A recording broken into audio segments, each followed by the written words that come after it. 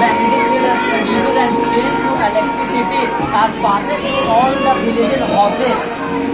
It means ये Tesla coil है और इसमें विदाउट वायर के थ्रू हम लोग इलेक्ट्रिसिटी पास कराना चाह रहे हैं पूरा गाँव में ये इसको इन्वेंट किए थे Nikola Tesla ji the great scientist Nikola Tesla in 1891 this, this is a very useful for our life in, in future and also uses in present time in radio, remote and television etc.